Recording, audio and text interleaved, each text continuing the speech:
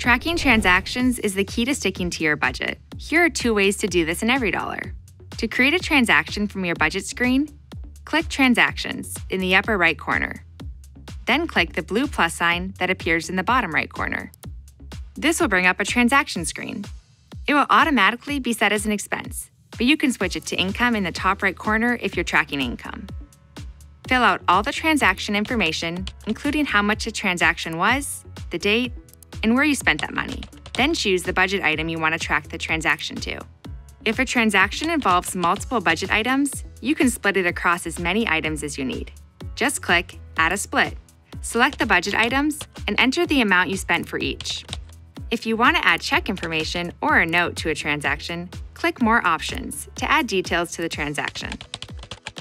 Finally, click Track Expense, and the transaction will be tracked to the budget item or items you selected. You'll see the remaining balance in those budget categories change immediately.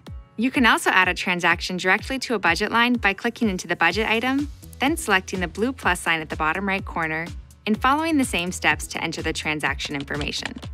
If you need to change a transaction after you've tracked it, simply click back into it and make any edits you need. For example, if you track it to the wrong budget item, click the red minus sign next to the budget item, then add the correct one. Now you're ready to track all your transactions in EveryDollar.